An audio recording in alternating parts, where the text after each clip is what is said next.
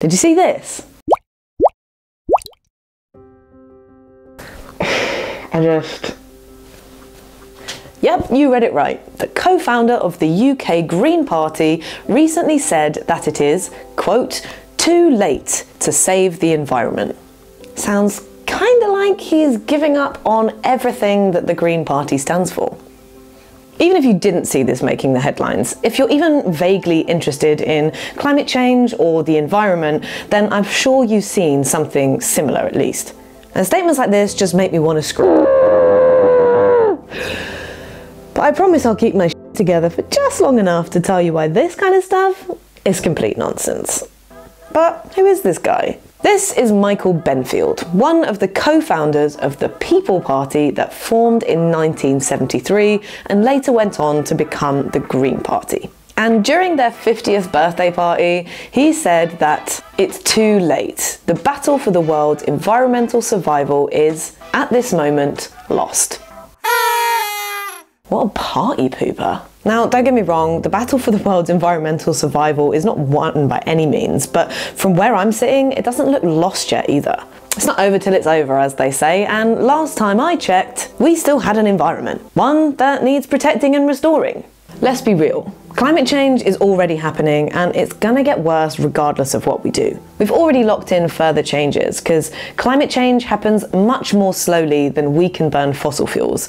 And it means that it will take some time for the climate to catch up to all the greenhouse gases and emissions that we've been pumping into the atmosphere. Even if we stopped emitting greenhouse gases tomorrow, temperatures and sea levels would continue to rise. And it's the same story with all of our environmental crises, whether it's the pollution of our air or our soil or our rivers or the destruction of the natural ecosystems that we depend on. But, and this is the point that matters, we still have a choice about how much worse things can get. We still have a choice about whether we start to correct the environmental missteps of the last 250 years or not.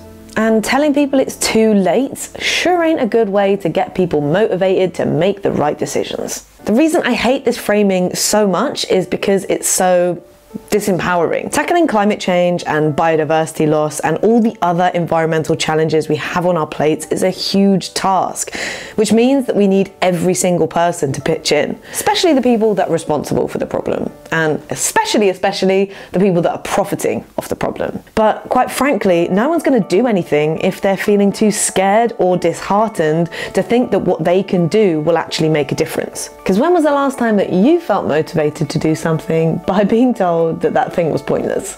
This kind of chat breeds apathy and makes people confused and scared. And confused, scared people are not renowned for making rational decisions or feeling motivated to do difficult things. And perhaps more importantly, this framing actually plays right into the hands of the biggest polluters, who really don't need any favours.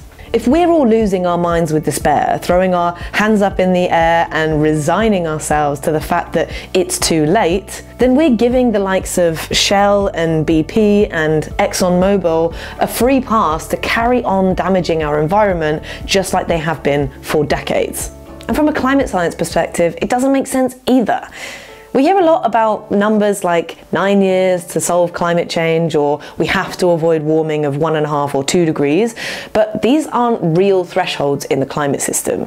They're political targets. And while they can be helpful to frame the discussion around climate solutions, and that's a discussion for another time, they can get confusing because people naturally interpret them to mean that once we pass 1.5 degrees Celsius, that's it.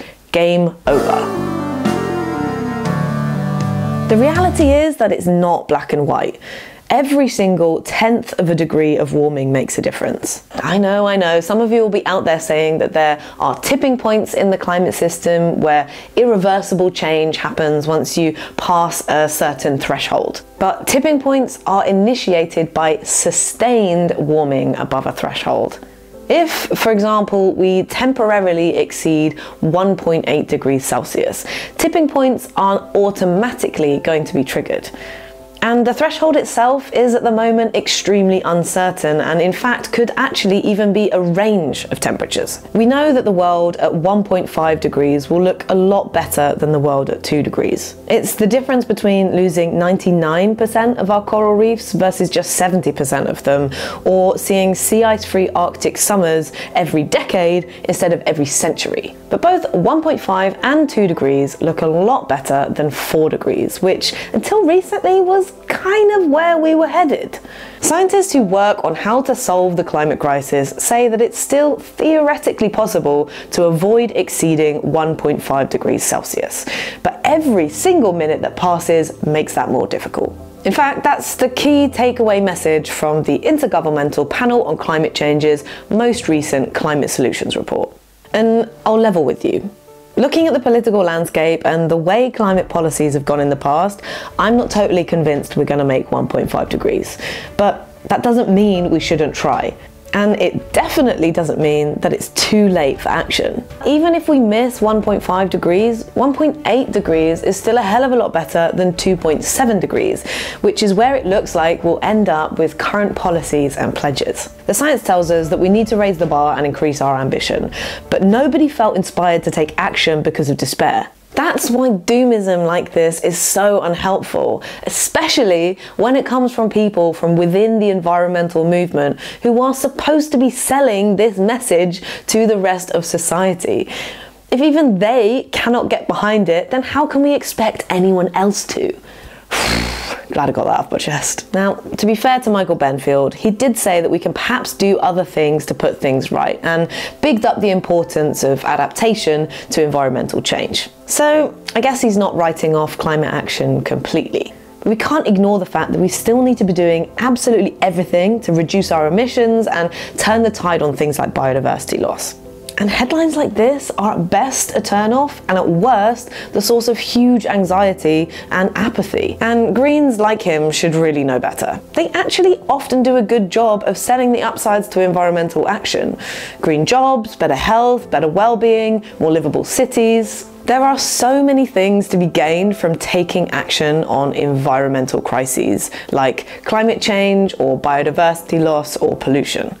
I know only too well that we can't pretend that everything is all rainbows and sunshine and unicorns and butterflies, because it's not. It's literally my job to look at all this depressing stuff all day. But without hope, there is no action. And more than anything else right now, we need action. So when people say it's too late, or we're doomed, or that action is pointless, I tell them it's never too late to make things better while I've still got you, I love making these videos, but they take a lot of time and effort, and unfortunately, time is money. And I never want to sell you stuff that you don't need because obviously because the support of my really wonderful Patreon subscribers is the only way that I fund these videos. So if you think that you might buy me a drink, if you bumped into me in a bar for instance, and mine's a maker's mark on the rocks by the way, then please consider joining those subscribers and signing up on Patreon. It really helps and I'm so grateful for the support. Thanks and see you next time.